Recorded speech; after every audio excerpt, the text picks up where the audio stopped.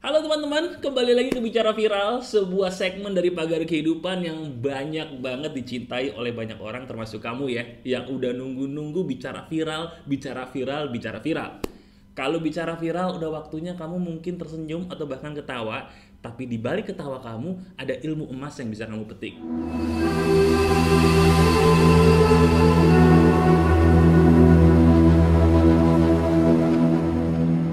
Hari ini kita akan membicarakan sebuah topik yang ada kaitannya dengan karir yang bisa merubah hidup kamu. Ini dia menariknya. Di hari ini saya akan langsung menunjukkan kepada kamu apa sih ciri-ciri dari sebuah karir atau pekerjaan yang merupakan passion kamu yang bisa kamu jadikan sebagai pilihan dalam takdir karir kamu. Ini menarik, benar, walaupun ini lucu banget.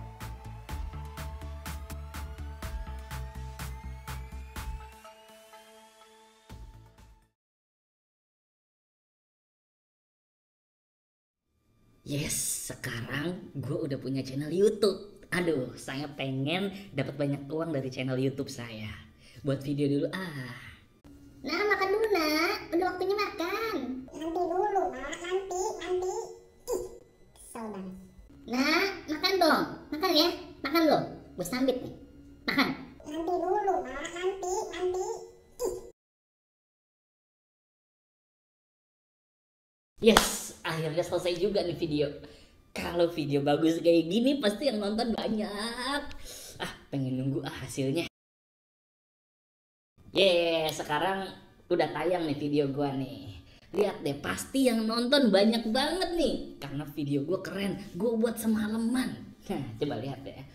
Hasilnya pasti banyak yang nonton. Loh kok ini nggak salah nih capek-capek video kayak gini keren banget gue buat sampai gue lupa makan nggak makan nggak tidur yang nonton cuma tiga orang dua-duanya gue satu orang nggak tahu siapa ini kok kenapa gini ya kurang asem kuda kucing Nah, itu dia. Itu adalah ciri khas dari orang yang katanya pekerjaannya seolah-olah adalah passion dia, padahal bukan.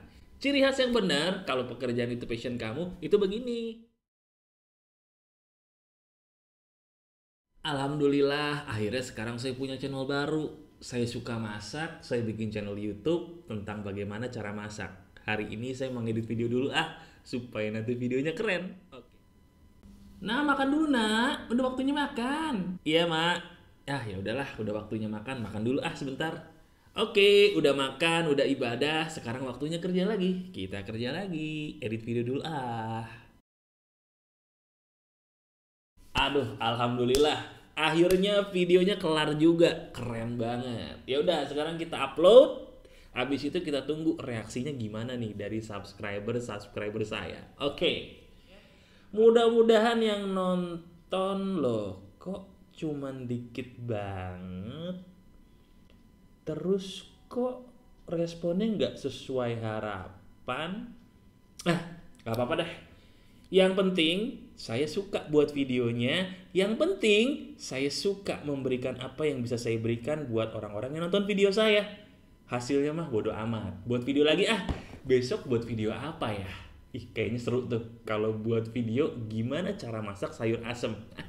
seru banget. Jadi semangat. Yuk ah.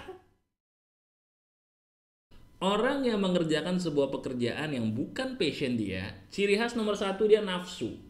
Ciri khas orang nafsu apa? Dia suka melawan perkataan orang tua. Dia suka melawan perkataan dari pasangan yang sebenarnya sayang membimbing dia ke jalan yang benar. Disuruh ibadah marah, disuruh makan nggak mau, dan yang paling-paling kelihatan orang yang bekerja tidak sesuai dengan passion, dia ngejar duitnya, dia ngejar pujiannya, dia ngejar popularitasnya. Ketika itu dia tidak dapatkan, dia akan marah, sumpah serapah keluar dari mulutnya, bahkan dia bisa jadi tidak jadi melakukan pekerjaan itu dan pergi cari pekerjaan lain. Sekarang coba lihat diri kamu. Di antara dua contoh yang saya contohkan tadi, yang manakah kamu?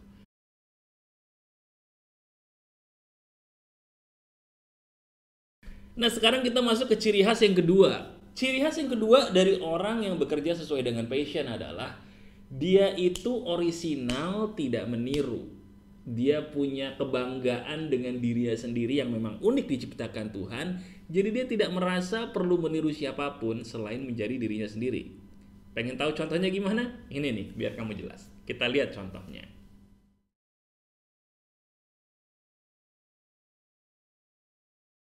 Ternyata ada orang yang betul-betul sukses. Namanya Aryan Surya. Ah sekarang gue pengen curi. Gue pengen curi kesuksesan dia. Karena gue pengen jadi orang sukses, gue mau jadi dia. Ah, Hehe, asik nih. Gue pengen jadi Aryan Surya. Oke.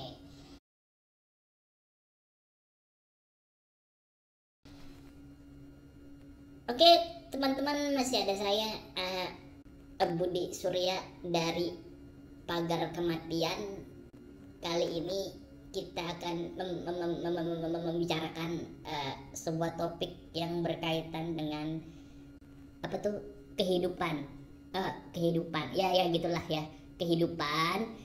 Oke, tetap keep the tetap keep the spirit, keep sharing, and keep loving. Bye bye.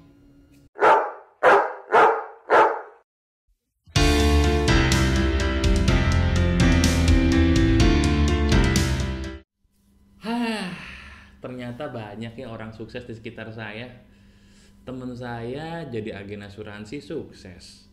Temen saya jadi youtuber sukses. Temen saya jadi penulis buku sukses. Ah, saya percaya kok kalau Tuhan itu sudah memberikan setiap orang itu bakat. Ya udah ah, saya nggak mau niru orang, saya mau jadi diri saya sendiri. Halo teman-teman, masih ada saya kembali Aryan Surya, sahabat baik kamu dari Pagar Kehidupan. Tetap keep the spirit, keep sharing, and keep loving. Enak nggak dengernya? Enak kan? Kenapa? Karena ini orisinalnya saya. Nggak kayak orang tadi tuh. Udah tahu kan bedanya? Pilih berdasarkan apa yang betul-betul menjadi bakat kamu, talenta kamu, dan apa yang kamu suka. Bukan sekedar mengikuti. Udah jelas? Orisinalitas adalah segalanya. Kamu itu unik.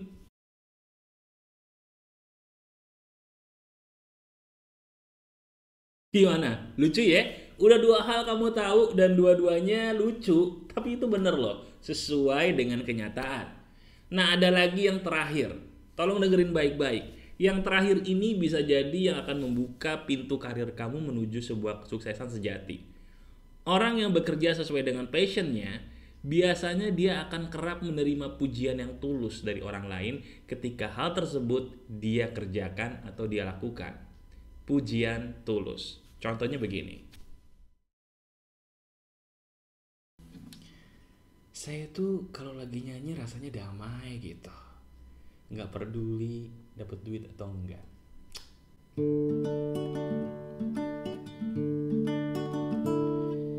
Terkadang ku merasa sepi